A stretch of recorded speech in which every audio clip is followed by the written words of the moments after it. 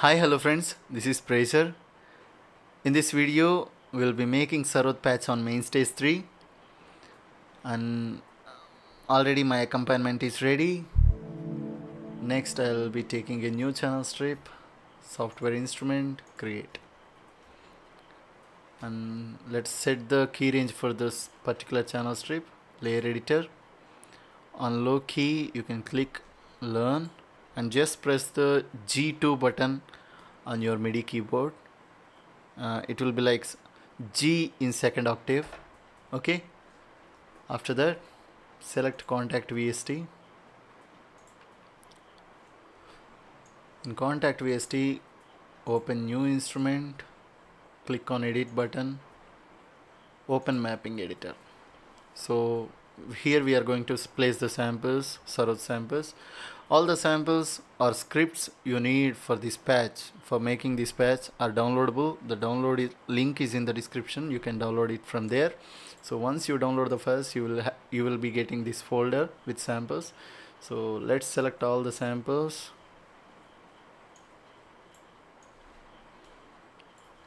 And drag them into mapping editor just drop them wherever you want.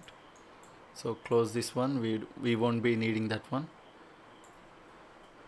So already the samples are selected. And if they are not selected you can click on the gray area and set uh, select this option select all zones. And click on the selected zones and say auto map setup. So ignore everything but the note number and velocity so set the note number to single uh, set to single key and we'll be setting the velocity range to maximum velocity. Make maximum velocity okay? Click on apply and ignore every other factors okay? So all the samples were set up. Now we have to set the velocity range properly because only the maximum velocity range was set up. So we have to set the minimum velocity. So first select these grayed out samples like this. And all the samples selected samples are in yellow color but one has a thick yellow outline. So we we will be editing that sample. So drag this sample upwards so that the sample will intersect with the bottom sample you shouldn't be having any gaps in between the samples. Because if they have any gap like this if you play this particular velocity the notes will be silent. So you should not have any gaps in between.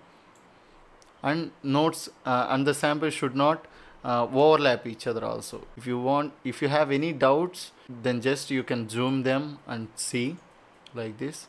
So there is no gap and no overlapping. You can zoom uh, zoom out.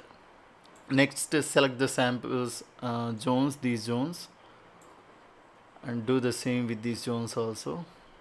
Okay I think there is a gap. Let's zoom in. See there is a gap.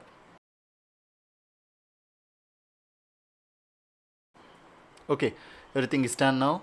So if you see here every sample's keynote and uh, I mean root node is C3 so it is not going to work like that because every key every sample has its own root key. So how we are going to set the root key for all the samples we placed here? So select all the samples right click and go to batch tools move root key to center. Now if you see this is C1 this is F sharp 1 and uh, and so on now select the samples every sample but not the first one and last one right click auto map functions auto spread zone key ranges. All the samples were stretched uh, basing on their root key to left and right but not the first one and last one because we didn't select them. Okay, we are done. The samples were placed from C1 to C6 but all the C1 samples are under my accompaniment because my accompaniment starts from C0 to uh, almost like uh, F sharp 2. So from here to here all the samples I added are going to be like waste because I am not going to play them if you see Sarod, all the melody will be in the bass notes. If you heard anyone playing Sarod, original manual instrument, all the bass notes will be having that melody. So what I'm going to do is move the bass samples upwards, just moving them a octave up. So see, the last sample is at C6, so I'm moving it to be C7. Okay, done. Now let's play and see if all the uh, samples are in right tune or not.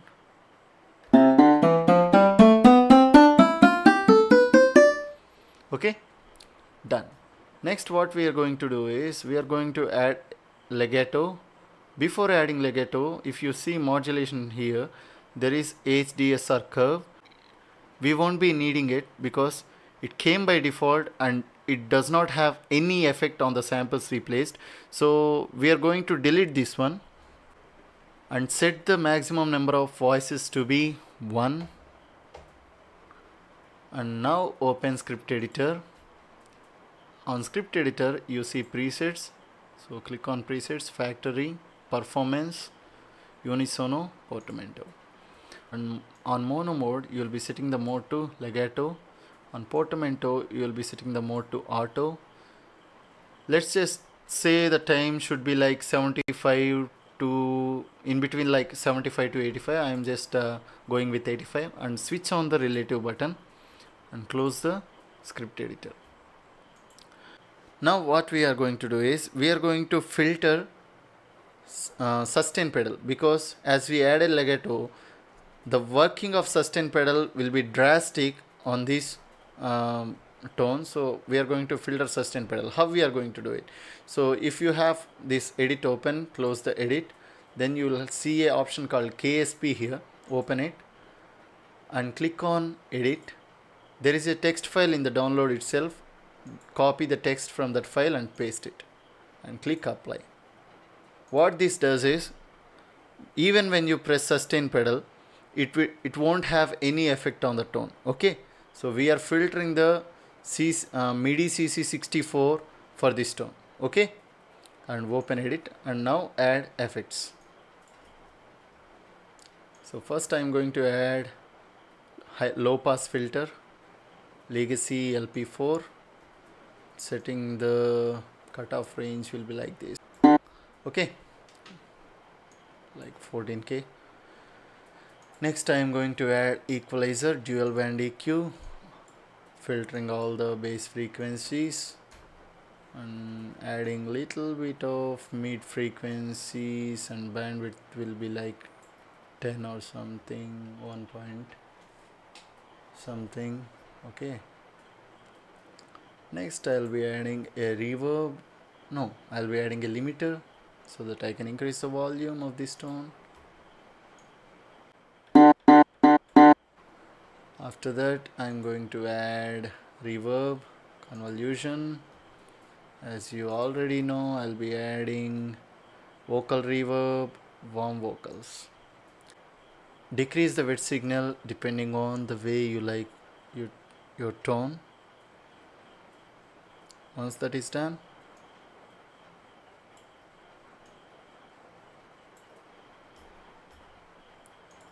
you can just save the tone. File save instrument give it a name select monolith and save. As I've already saved this tone I'm not gonna save it again. Okay. After that close Kontakt. For all those who are using Mainstage you can add sample delay here and you can make a delay little bit up to 500 samples or something. If you are Windows user or if you are using any other DAW for making this tone how you can do is you can just uh, delete this sample delay copy and paste this layer again and add sound delay. This is a free VST I will um, give you the link to download this VST and you can download it from that website itself. So what we are going to do is we are going to one bit of 1000 sample delay and two bits of 100 sam 100 milliseconds delay this will be the same but all you need to do is pan one track all the way left one track all the way right. So for mac users and mainstage users you can add sample delay on the single track itself but for windows or any other DAW users you can do this way. Let's see how this tone is going to sound like